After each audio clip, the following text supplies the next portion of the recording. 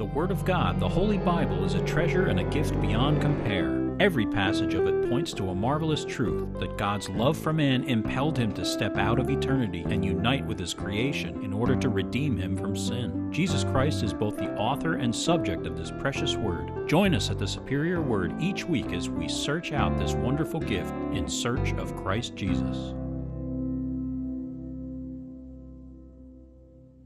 Psalm 14 To the chief musician, a psalm of David.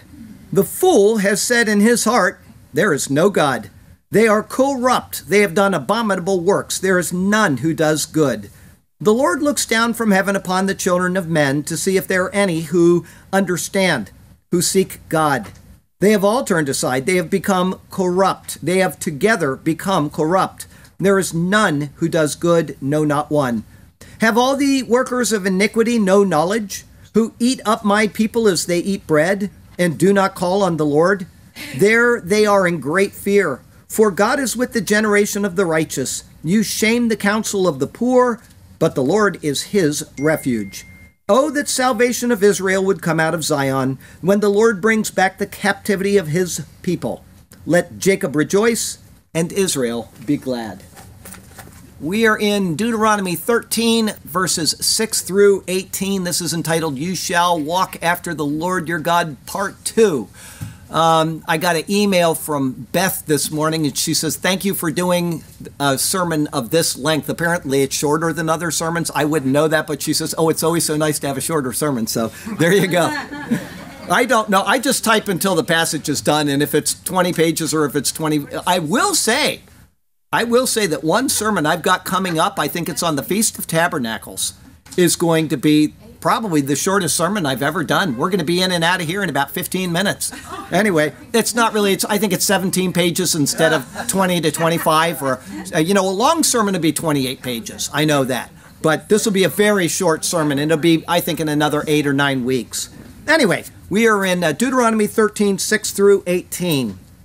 If your brother, the son of your mother, your son or your daughter, the wife of your bosom, or your friend who is as your own soul, secretly entices you, saying, Let us go and serve other gods which you have not known, neither you nor your fathers, of the gods of the people which are all around you, near to you or far off from you, from one end of the earth to the other end of the earth, you shall not consent to him or listen to him, nor shall your eye pity him, nor shall you spare him or conceal him but you shall surely kill him. Your hand shall be first against him to put him to death, and afterward the hand of all the people.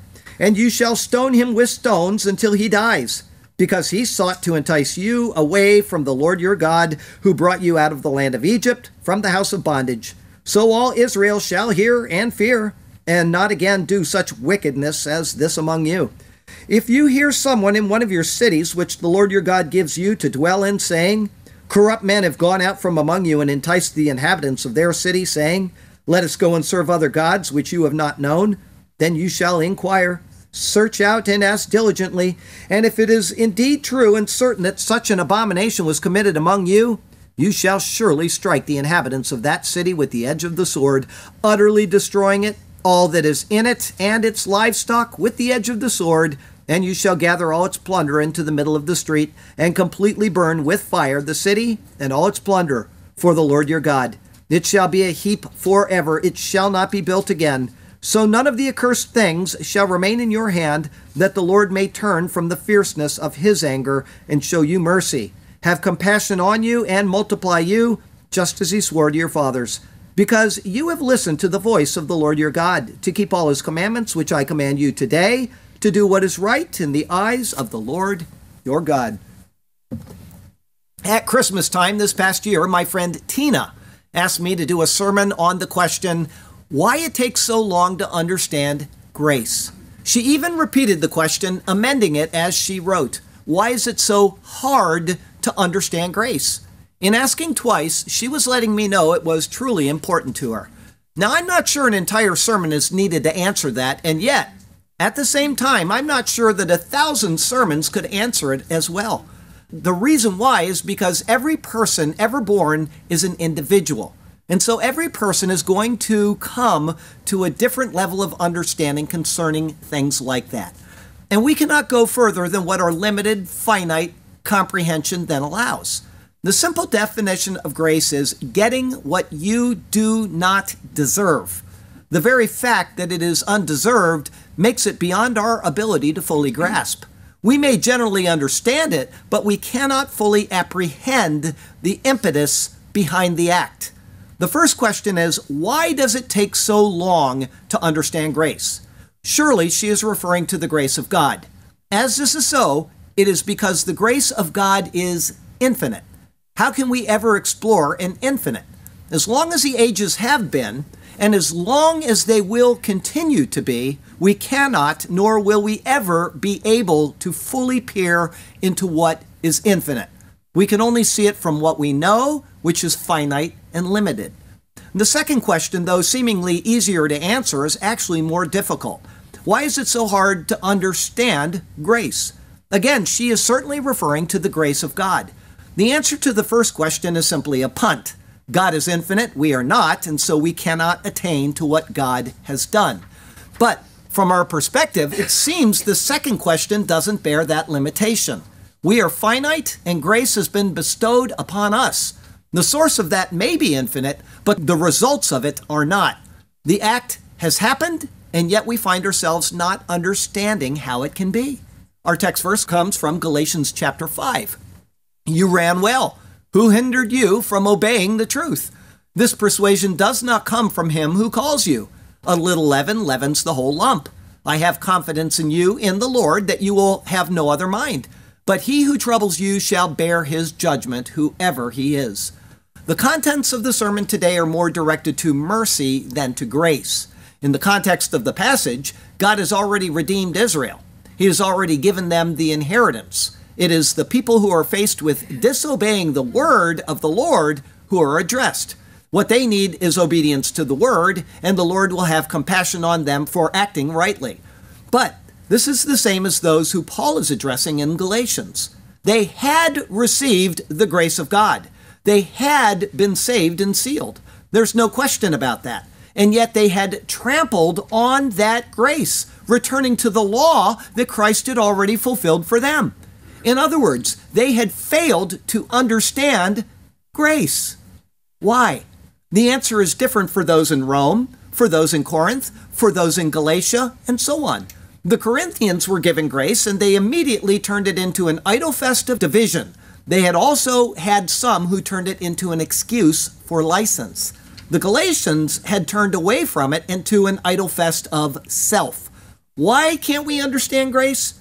It is because it is opposed to our very nature. We know how to be gracious, but it always stems back to something that we can receive from it, even if it is to simply obtain a state of personal satisfaction. That made me feel good. We turn from grace because we find it hard to accept that there are no strings attached or that God has somehow failed to benefit from his bestowal of grace. That is completely contrary to why we are gracious. And so we think if God isn't benefiting from this, then it can't be real. If it isn't real, then I need to do something to merit his favor. As a result of this thinking, what do we do? We go back to the personal merit before the Lord, forgetting that personal merit is actually opposed to grace which we suppose cannot be grace because there was no benefit from the giver of the grace. Not understanding grace is a condition of placing our own finite, failing, and fallible limitations on God, who is none of these things. That means that we need to have the mind of God. Not in the sense that we are God and have infinite knowledge, but that we accept that what God says is exactly what God means. And the way that we do that is to read and accept His Word in context and at face value. How can we understand grace? I would say that to do so, we must completely ignore our own self and what it means to be the person each of us is. 100%. If we allow ourselves to be the judge of what God's grace means, we will never, never, ever understand what it means. In setting aside the notions of self, we can then accept the gift of God. He has done this. I accept it, and I will not attempt to think it through any further in relation to my own self in order to understand it. If we can do that, then we will have all of eternity to no longer claim we understand God's grace, but to simply accept it and then go on in learning what it means as He reveals it to us. Tina, that's the best that I can do. It is an answer that demands that we accept God's word wholly and completely as it is given to us. And I am certain that this is true because God's eternal, unchanging, and ageless word ends on exactly that note. From Revelation 22, verse 21, the last verse of the Bible, the grace of our Lord Jesus Christ be with you all. Amen.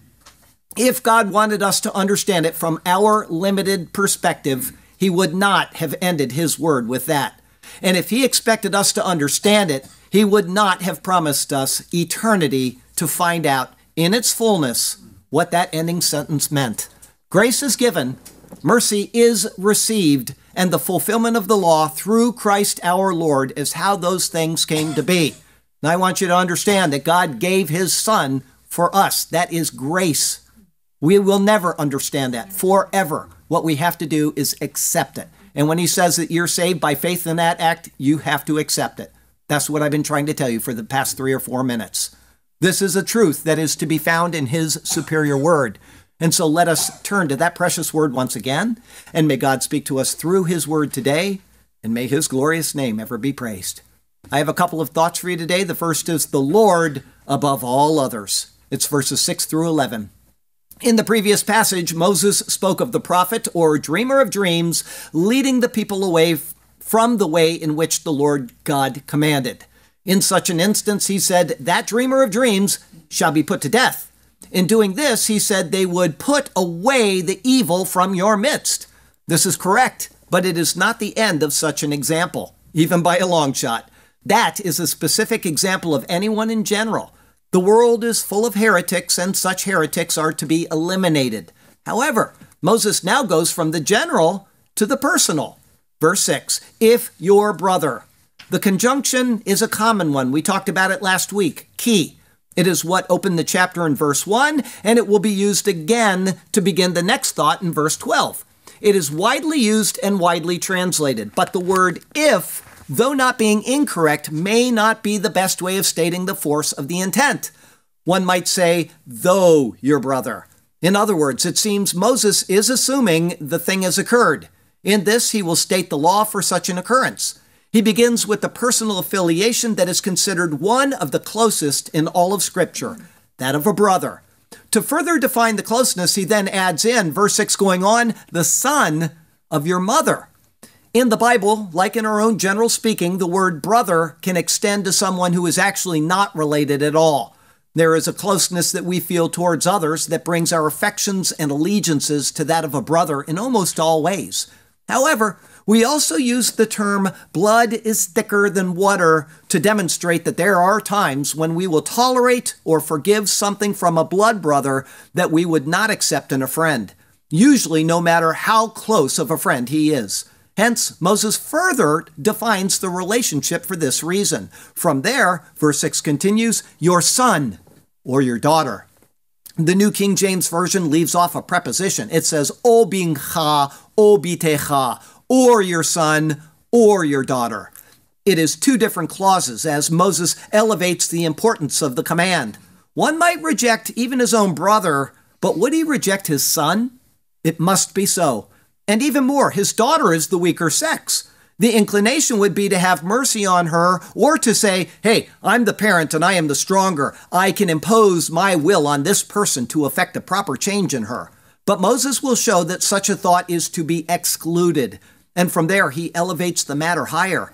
Verse 6 continues The wife of your bosom, o eshet chechecha, or wife of your bosom.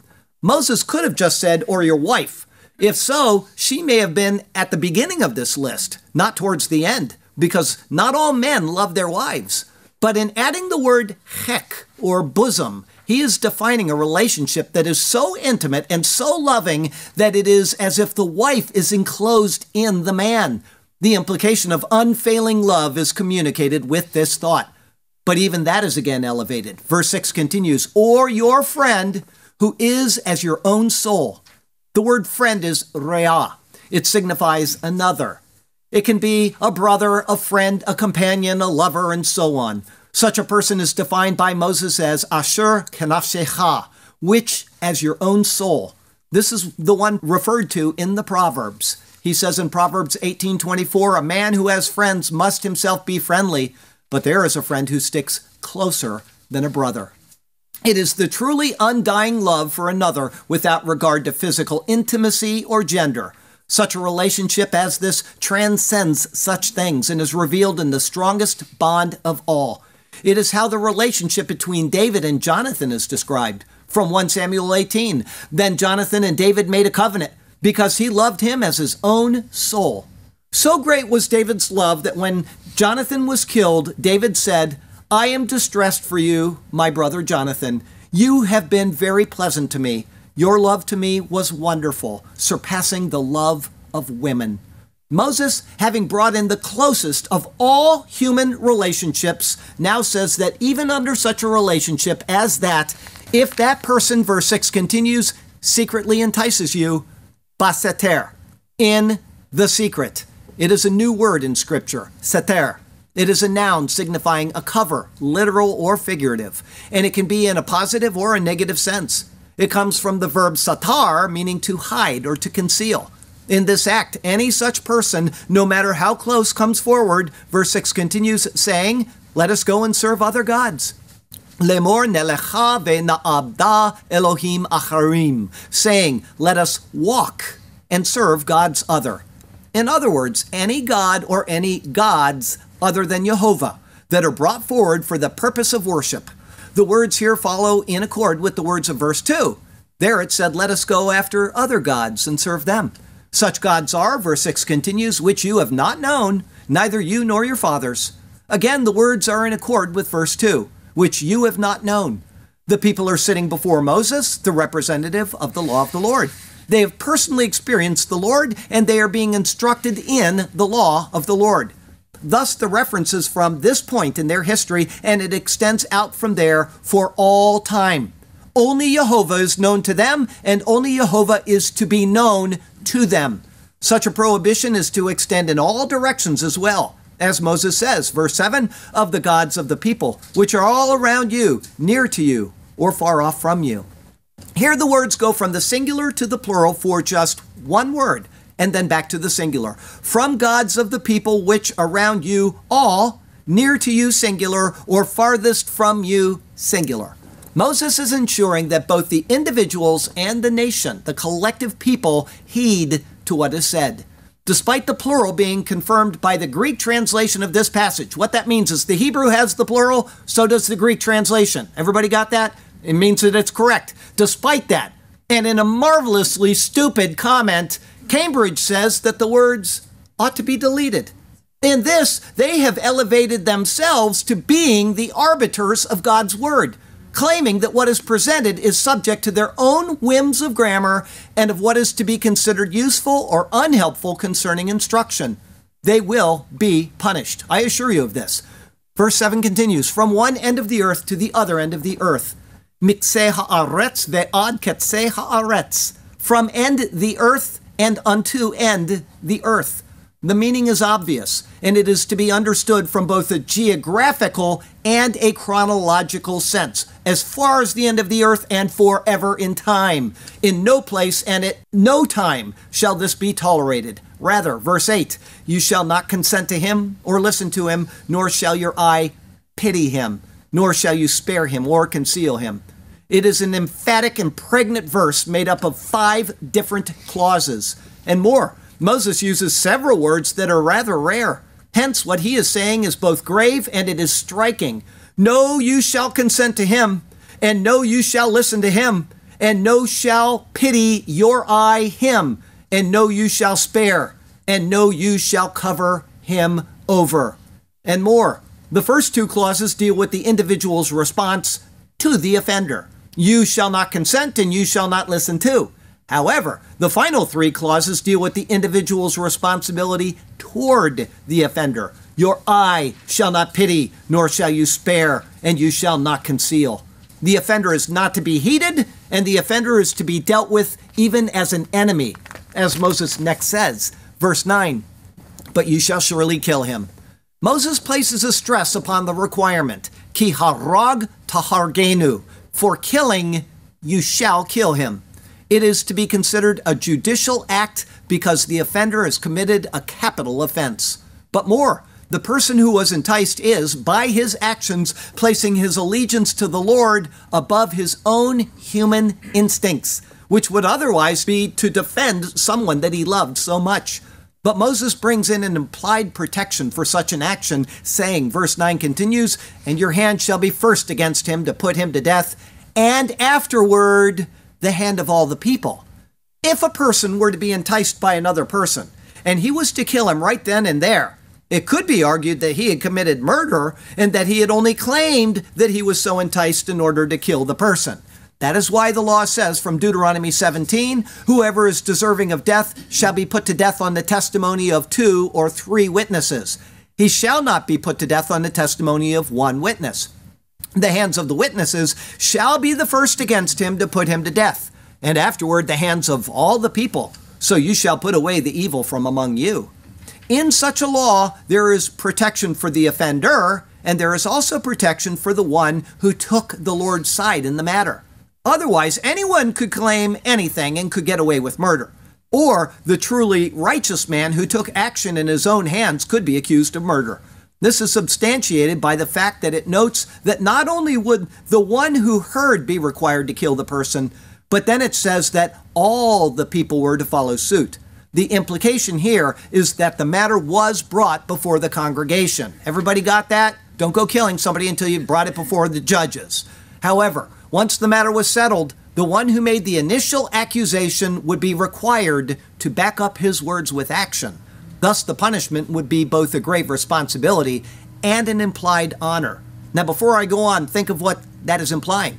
He just said, Your friend, your son, your daughter, the wife of your own bosom, they secretly entice you away, or even a friend that's closer than any of those to you. And now you have to throw the first stone at that person.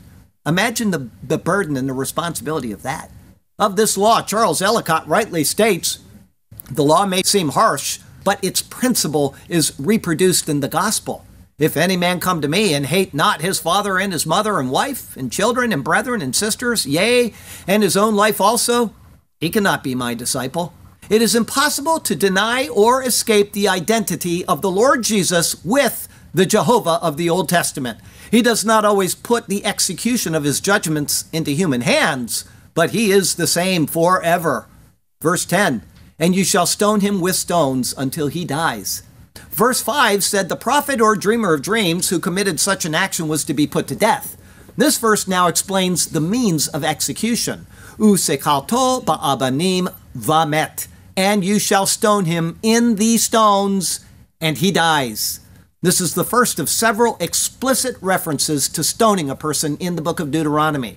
But it was already implied in verse 5. The land of Israel is, if you've been there, you know this, it's the rockiest place one can imagine.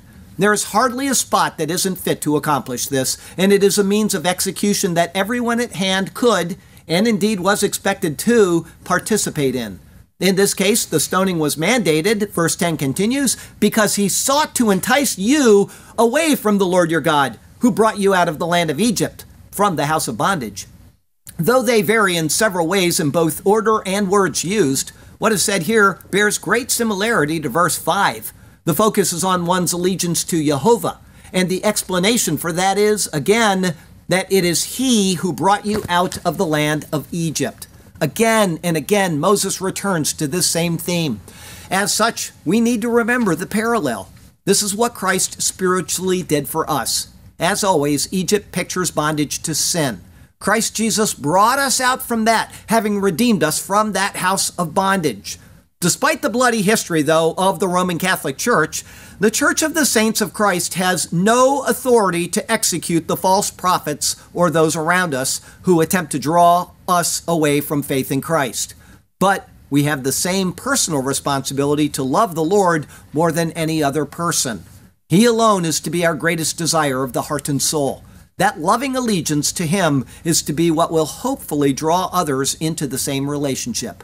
For Israel, however, execution of the offenders was to be its own warning. Verse 11 So all Israel shall hear and fear.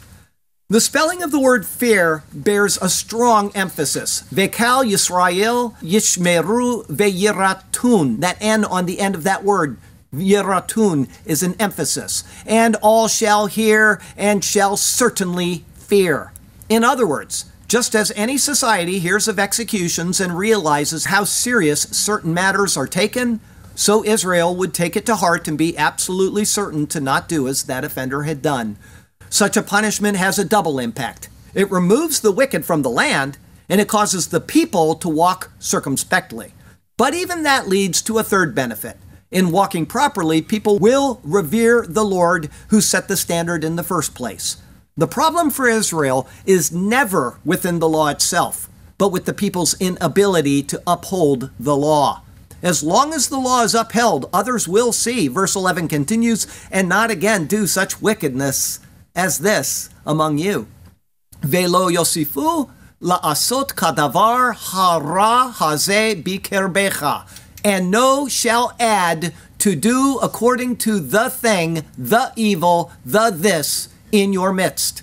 In other words, in executing the offender, it will end any other such attempts by those who are so easily led astray. The precept is no different than countries that execute homosexuals or some other crime. When that is the case, those who may think in that manner would never openly acknowledge it. The standard is set, the law is given, and those who fear the law will exercise restraint. And so it is with any other activity adultery, drugs, and so on. In executing offenders, the masses will cease the offenses. How do I know that's true? Because I lived in Malaysia. Okay? When you go into that country, they stamp your passport in big red letters drug trafficking will result in death. That's it. There is one appeal to the king, he denies it, and they hang that person. They have very little problem with drugs in that country. Very little. People do, and then they get hung, and then you don't hear about it for quite a while after that. Okay? That is true. The Bible is supported by this notion in history. Now, you get the liberals in this country that say it's not true and that it doesn't, it's not a deterrent and all that. Listen, that's baloney. Blessed is the one who walks after the Lord his God and happy is the man who shall see his face. It is on the straight path that he does trod, and it is he who finds the Lord's mercy and his grace. So it is for that man who walks after the Lord his God, and it shall be so even when life appears dark and grim. His feet are faithful, and with righteousness he is shod. He will see good days. Joy and blessing lie ahead for him. Do what is right and pleasing before the Lord, and he will honor you with life and length of days. Be carefully attended to his sacred word and live out your life to his honor and to his praise. This is the path to follow for the discerning and the wise. He who understands is ever pleasing in the Lord's attentive eyes. Our second thought today what is right in the eyes of the Lord? It's verses 12 through 18. In verses 1 through 5, Moses dealt with apostasy in a general matter. In verses 6 through 11, he dealt with it in a personal matter. Now, in verses 12 through 18, he will refer to apostasy in an organized manner, saying, verse 12, if you hear someone in one of your cities. Again, as in verse 1 and verse 6, the translation is probably more rightly rendered, though you hear. It is more assuredly assuming that the thing has occurred, and so action must be taken. In this case, it is an offense that has happened in a city. Further, the word someone does not belong in this verse. It reads, Ki tishma be'achat arecha, though you hear in one of your cities.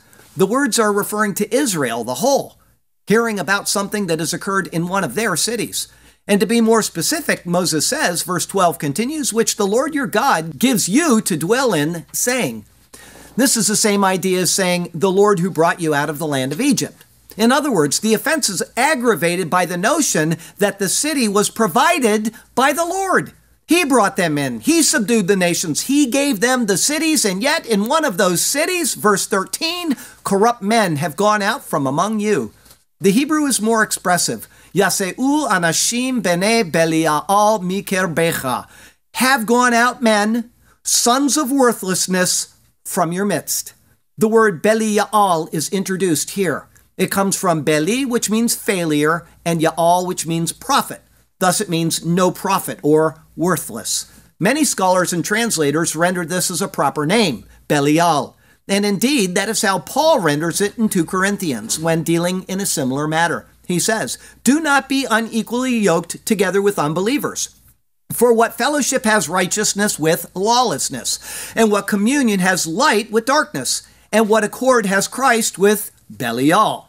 Or what part has a believer with an unbeliever? And what agreement has the temple of God with idols? For you are the temple of the living God. As God has said, I will dwell in them and walk among them. I will be their God, and they shall be my people. And yet, throughout the Bible, people describe an object by its predominant characteristic as a son of that quality. For example, the term son of death is used this way at times such as when David said in 2 Samuel 12, verse 5, As the Lord lives, surely the man who has done this is a son of death. The meaning is that the person deserved to die.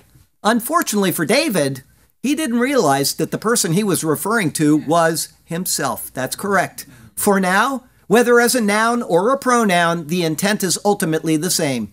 In this verse in Deuteronomy, the worthless people are said by Moses to have gone out from among you.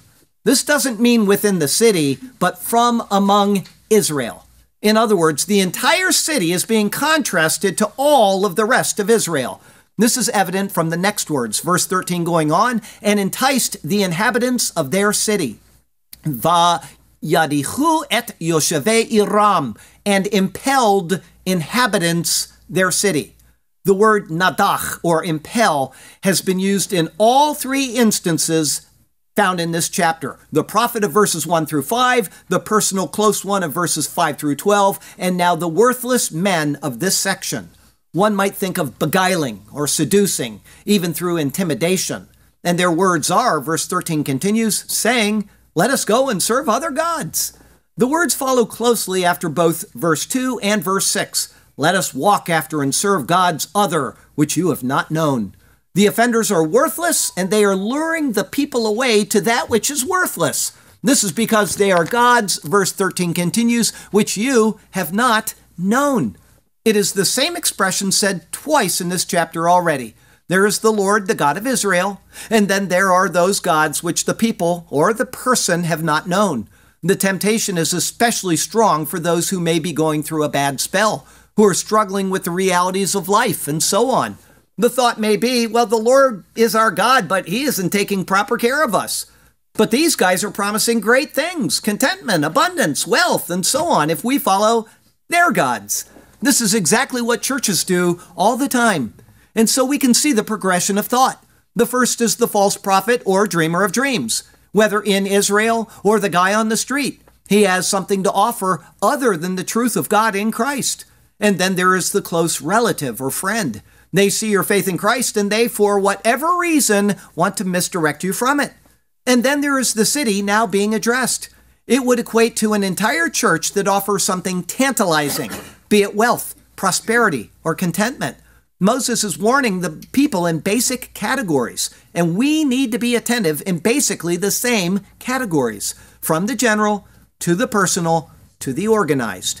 Israel knew the Lord, and yet they are being beguiled to walk after another that they did not know. We know the Lord, and yet no sooner do we know him than we are tempted to walk after the Lord in a way we did not know, nor in a way that he has presented himself. For now, and concerning the city which has done what Moses warns against, verse 14, then you shall inquire, search out, and ask diligently. Again, the Hebrew is more specific. Ve'darashta, ve'charkata, ve'sha'alta hetev. And you shall seek, and you shall search out, and you shall ask diligently. In this, a new word is introduced, chakar. It signifies to penetrate and thus to examine intimately. The onus is on Israel to do their due diligence and to determine the truth of the matter. Nothing less would be acceptable. Verse 14 going on, and if it is indeed true and certain that such an abomination was committed among you, and again, the English fails to convey the force of Moses' words. It more rightly reads, And behold, truth! The thing is established. The abomination was committed in your midst. His words are so poignant that what follows must absolutely come to pass. Verse 15 You shall surely strike the inhabitants of that city with the edge of the sword. The Hebrew reads forcefully Striking, you shall strike the inhabitants of that city with the mouth of the sword. Here, as elsewhere, the sword is spoken of as a devouring instrument. The souls of the people are eaten away as the sword is wielded. The fate of the people who have acted in this way is death. But more, verse 15 continues, utterly destroying it. Hacharem otah, devoting it. In other words, the city is to be placed under the ban. It is to be completely destroyed as an act of devotion to the Lord. Nothing living in it was to be taken out. Nothing. Verse 15 continues, and all that is in it and its livestock with the edge of the sword every living thing man, woman, child, and livestock. Of this, Matthew Poole says, incorrectly, to wit, all that are guilty, not the innocent part, such as disowned this apostasy, who doubtless by choice and interest, at least upon warning, would come out of so wicked and cursed a place. This is incorrect. All were held guilty regardless of their innocence. Once the matter was discovered, does anybody know the story of Achan in the the uh, valley, Joshua chapter 7, there you go. He had children that weren't a part of what he did. Everything under the ban is destroyed. All right, once the matter was discovered, it was to be all, all of it, utterly destroyed with the mouth of the sword. The place was accursed, and so all that lived within it was under the ban. Further, verse 16, and you shall gather all its plunder into the middle of the street and completely burn with fire the city and all its plunder for the Lord your God. The act of devotion to the Lord is to extend to everything within the city. It was to be taken to the rehov, or broad open place, such as a plaza. It was the, to then be piled up, and the entire city was to be burned. The word completely is kalil. It signifies all, as in a holocaust or a whole burnt offering. Thus, the act of devotion to the Lord would be complete in its scope but it was also to be forever in its duration. Verse 16 continues It shall be a heap forever, it shall not be built again. Here the word tel or mound is introduced. It is a contraction of the word talal, which is found in Ezekiel 17, verse 22, where it speaks of a prominent mountain. Thus, this is a mound or a heap. Today, many cities or sites are known by the word, such as Tel Aviv. It is a place where a mound exists upon which more has been built over the years. In the case of such a city, however, it was not to be built upon. The mound itself was to be a testament to the apostasy of the city and of the devotion of that city to the Lord by the people. The mound was to serve as its own witness for all time. And there is an important reason for this mandate, as Moses next relays. Verse 17 So none of the accursed things shall remain in your hand. The word translated here as remain signifies to cling to. The idea is that if any accursed thing were kept, it wouldn't just be in the person's hand, but it would cling to it. The stain of it could no more be taken away than could the shame of an adulterous woman. The Lord would see the thing and it would then withhold any favor from him. This will be seen in Joshua when Achan will take an accursed thing, it clung to him. It found him out, and he and all he possessed, all his family, everything in turn, became subject to the ban. Thus, the people were to completely rid themselves of the banned city. This was so, verse 17 continues, that the Lord may turn from the fierceness of his anger. Lema'an Yashuv Yehovah Mecharon Apo. To end purpose, will turn Jehovah from burning his nose. The Lord is truly angry at the actions of such people.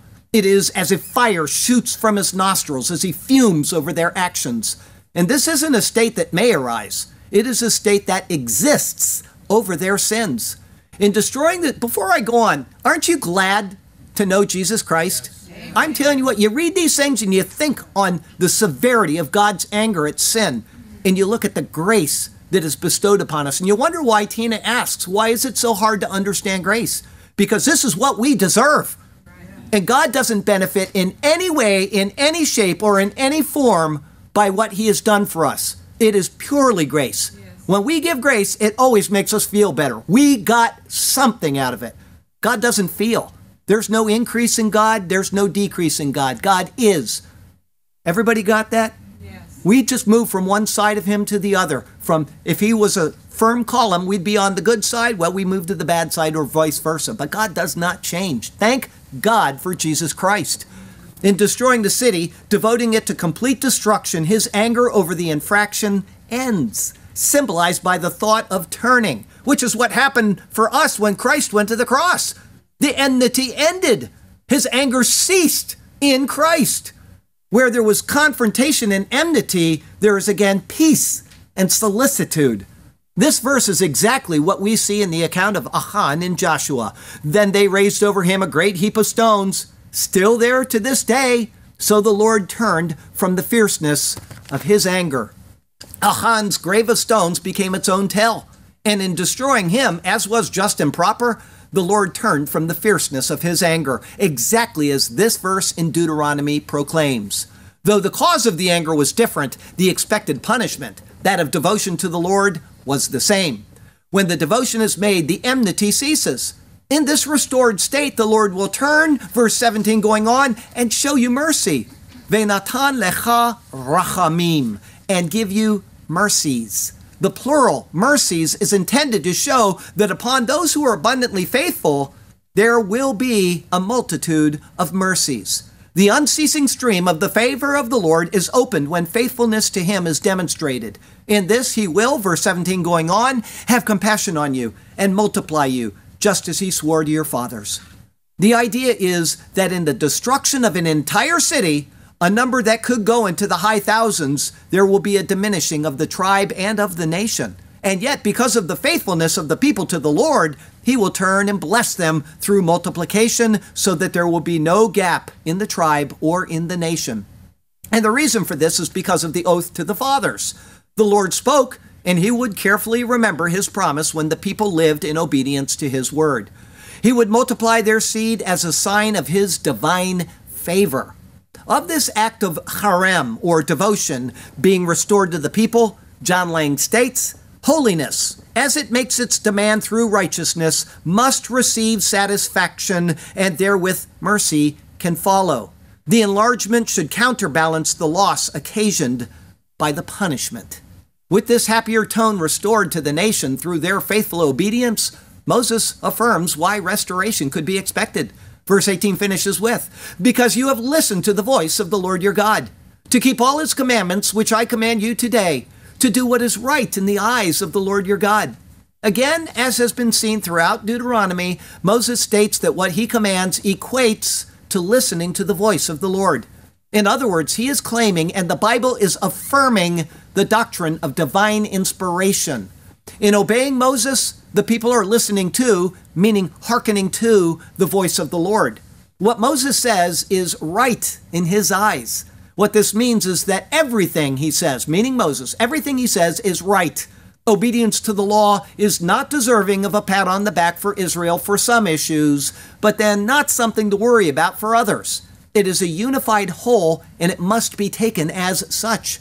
Apart from the matter of Achan in the book of Joshua, the closest Israel ever came to the matter described here is at the end of the book of Judges, where a city of the tribe of Benjamin was found to be filled with sons of Belial, or sons of worthlessness. In order to purge the evil from Israel, the entire nation came against them. But the tribe of Benjamin sided with their own people. Thus, the tribe of Benjamin was reduced to only 600 men. However, they eventually regained their numbers, and noted biblical figures came from them, including Saul, Israel's first king, and the apostle Paul. Throughout the Bible, there is seen grace and mercy mingled with judgment and punishment. But every infraction of the law demanded punishment before the mercy could be bestowed. This truth extends to all people. Judgment for sin against the holy God cannot be overlooked, but it can be meted out in a substitute. Israel as a whole deserved judgment for the apostasy of one city, but the destruction of the city could appease the Lord. The sins of the people required judgment, but the penalty could be taken out on an innocent substitute, such as in the temple sacrifices and especially on the Day of Atonement. And those things only look forward to the greater work of Christ, who is the fulfillment of those mere types and pictures. Each of us has a choice. And each of us must decide how we will come before this holy God. Will we attempt to stand before Him on our own merits? The thought is impossible to even consider. Let us act in prudence and let us choose the wise option. Let us come to God through Jesus. It is He who has already paid the penalty for the sins of the world. The full cup of God's wrath was brought to bear on Him on the tree of Calvary, and indeed He bore it all. In this, God's wrath was satisfied. The payment was made, and peace is now offered through His deed. Let us remember what Christ has done. Let us receive it as our own, and let us stand before God forgiven and free of the sins we have committed in His presence. And let us thank God for Jesus Christ now and forever. Let us hail our Lord to the glory of God the Father. I will tell you that these people that are out there in the world today and are trying to push this agenda, which we heard about in the prophecy update today, Max Lucado is going along with it. He doesn't, that guy has no comprehension of the judgment of God. Mm-hmm. If he would even dare to equivocate or to waffle on what he once said about what the word proclaimed. You cannot do that. I'm telling you, that is a scary place to be. Now, I'm not saying the guy's not saved, but he is playing with fire by saying those type of things because judgment must come. And as I said during the sermon, I am so thankful for Jesus because everything we're reading here, I'm not giving you the typology, but I think you can see it. It all pictures Christ. Something has to be judged, and it has to be done willingly by the people before the Lord will relent. Well, God did the work in His Son, and now He simply asks us to believe that.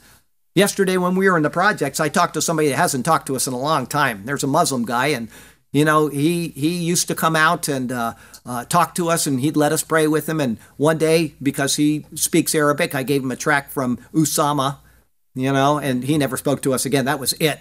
He did not want to hear that. And when he sees us, it's like we got the COVID, Paul. He'd run inside. But yesterday, he came out and we said, You want to pray? And he says, Only if you let me pray for you through Allah. And I said, That's not going to happen, but we can stand here and at least talk. And we talked for a while, and he started talking about God, and God's going to judge everybody. I said, That's true. I said, It's not Islam's judgment where you have 51 and 49 and you get to go and you don't get to go. It is one and all are condemned already.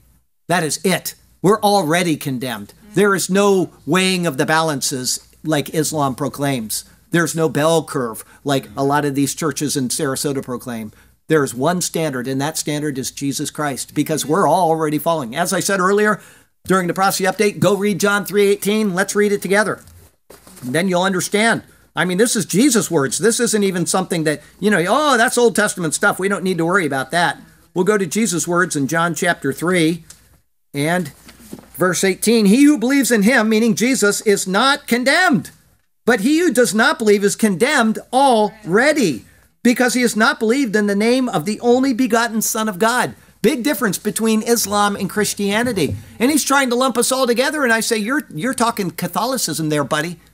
That has nothing to do with us. And then he started getting into the Jews, and they're all I said, listen, man's unfaithfulness has no bearing on God's faithfulness. And he stopped and he went, he, he just he didn't know how to respond to that one. And he started arguing about something else. It doesn't matter what we believe. If God says he's going to do something, he's going to follow through with that.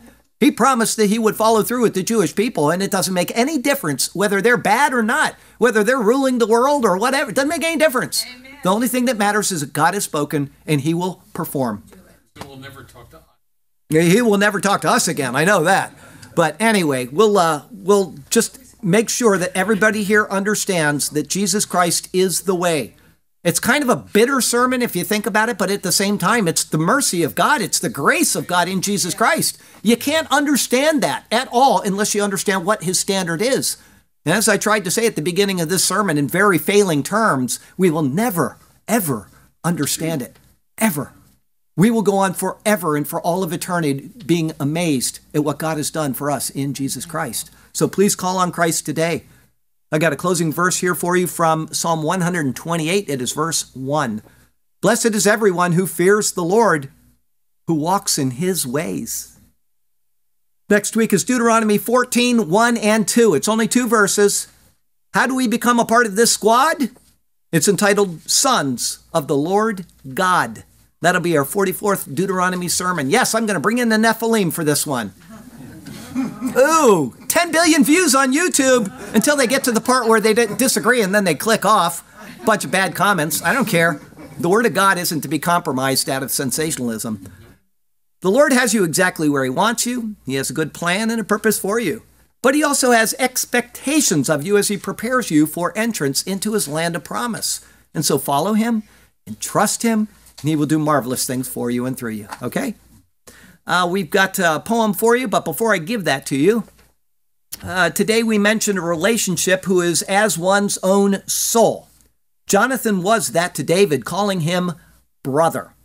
Where does it say that of us? Where does it my handwriting is appalling. Where does it say that of us in relation to the Lord in the New Testament? We are brothers of the Lord. Anybody? You got a car you can drive home if you can just simply get that out of your memory.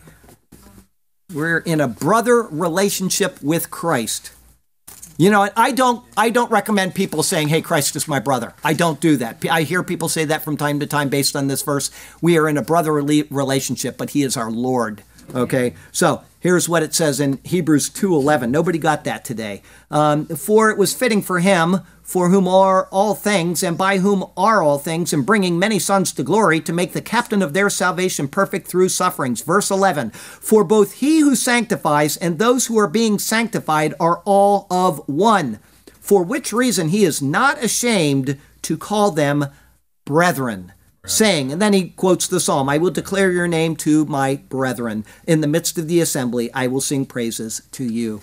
We are brought into a that type of a relationship with the Lord. But once again, don't use that as a call to say, "Hey, bro," when you see him. That's he is our Lord. He is to be honored. Okay, definitely. Uh, poem: You shall walk after the Lord your God. If your brother, the son of your mother, your son or your daughter, the wife of your bosom, or your friend who is as your own soul, secretly entices you, saying, Let us go and serve other gods, which you have not known, neither you nor your fathers, such a person is out of control. Of the gods of the people which are all around you, near to you or far off from you, from one end of the earth to the other end of the earth, you shall not consent to him or listen to him, such you shall not do. Nor shall your eye pity him, nor shall you spare him or conceal him. But you shall surely kill him for trying to mislead the sheeple. Your hand shall be first against him to put him to death, and afterward the hand of all the people and you shall stone him with stones until he dies, because he sought to entice you away from the Lord your God, who brought you out of the land of Egypt, from the house of bondage where once you trod. So all Israel shall hear and fear, so they shall do, and not again do such wickedness as this among you. If you hear someone in one of your cities, which the Lord your God gives you to dwell in, saying, Corrupt men have gone out from among you, and entice the inhabitants of their city, thus relaying, let us go and serve other gods, which you have not known. Then you shall inquire, search out, and ask diligently. On such a deed, light must be shown. And if it is indeed true and certain that such an abomination was committed among you, you shall surely strike the inhabitants of that city with the edge of the sword, utterly destroying it, all that is in it, and its livestock with the edge of the sword. So you shall do. And you shall gather all its plunder into the middle of the street, and completely burn with fire the city and all its plunder for the Lord your God.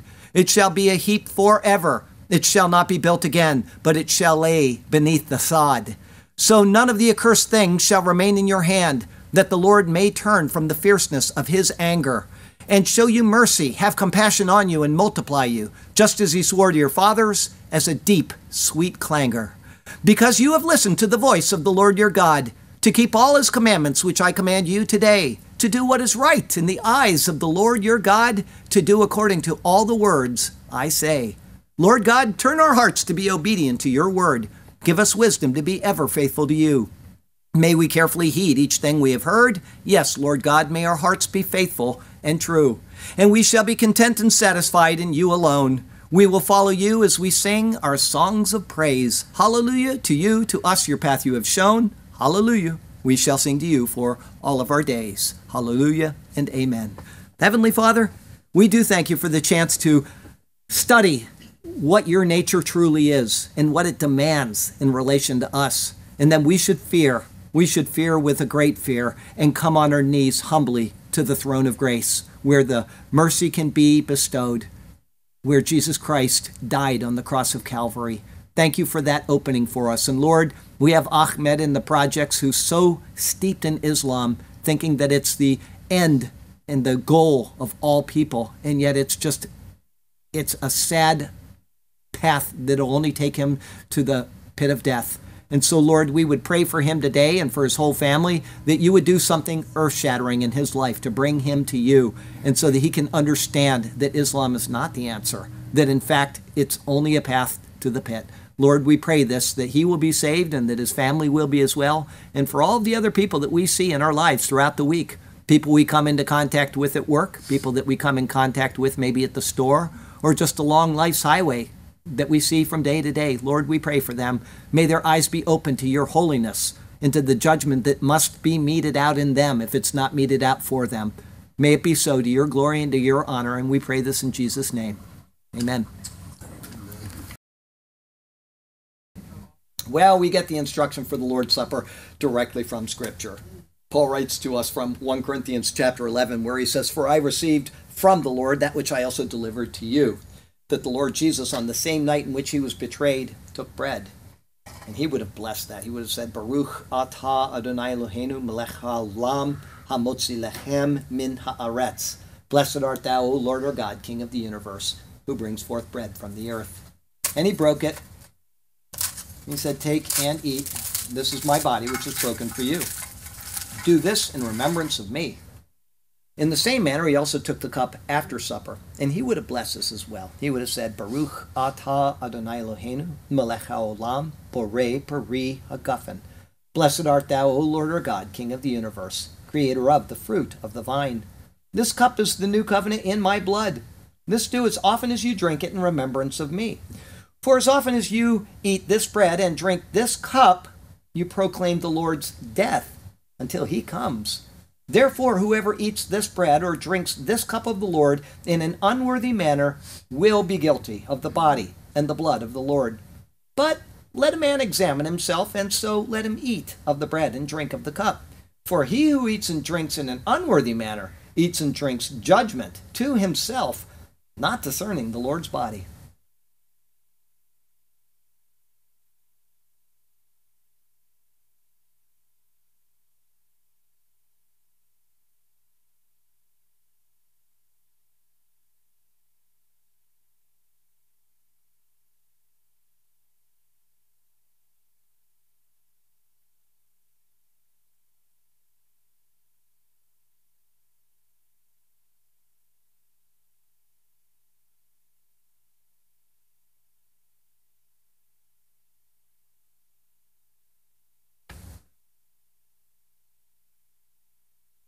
the body and the blood of the Lord Jesus Christ.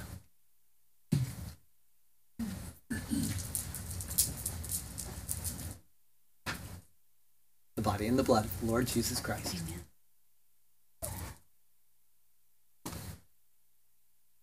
The body and the blood of the Lord Jesus Christ.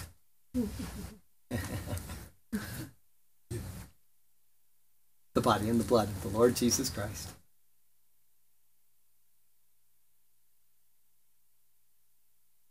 The body and the blood of the Lord Jesus Christ.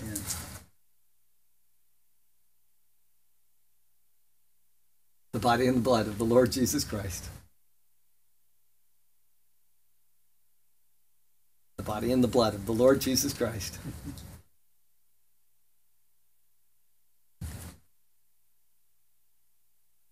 the body and the blood of the Lord Jesus Christ.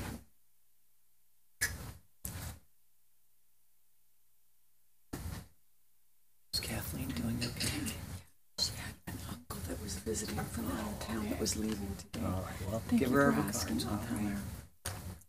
The body and the blood of the Lord Jesus Christ. Amen. Last one. Last one. Kind of hoping somebody drive that brand new thing home today. Yeah, well, that's all right.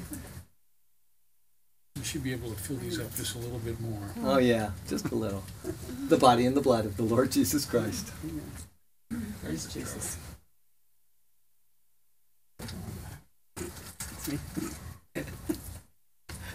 Breaking up. The body and the blood of the Lord Jesus Christ.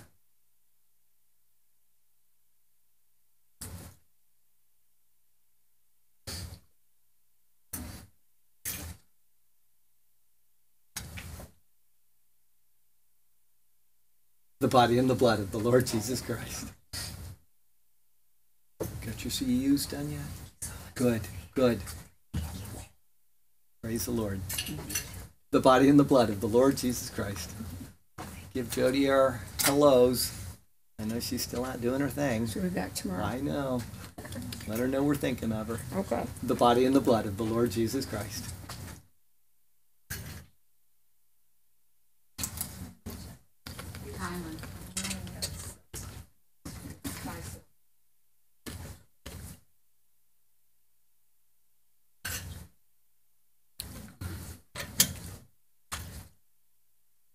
Glory be to the Father, and to the Son, and to the Holy Ghost, as it was in the beginning, is now, and ever shall be, world without end. Amen. Ah, wow. Long week. I'm telling you what, I, I had a long week. Sergio had a long week. You wouldn't believe how much time he put into getting this thing back online.